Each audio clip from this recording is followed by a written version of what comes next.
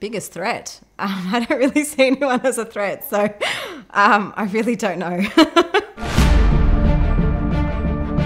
I'm pretty excited to be selected uh, as a competitor for Survivor, although not really sure what I've signed up to. I'm a bit of a peacemaker, so I'm not sure.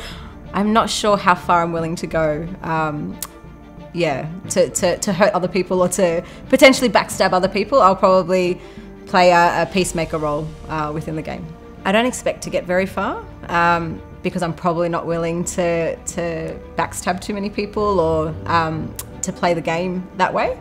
But, you know, if kindness gets me far, then yeah, maybe I'll get far, but not so sure. I think I am strategic. Um, a lot of my role uh, for my career is very strategic. Um, but in terms of being strategic in trying to get ahead of people, uh, that's definitely not my cup of tea.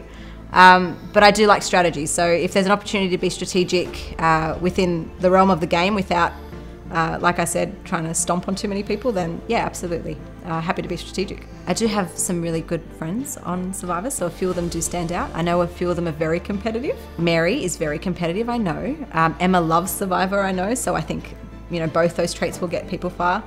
Um, I know Georgie loves a good game, and I think you know that that excitement that he has for this will get him far. I think for those that know me, probably know that I'm not competitive at all.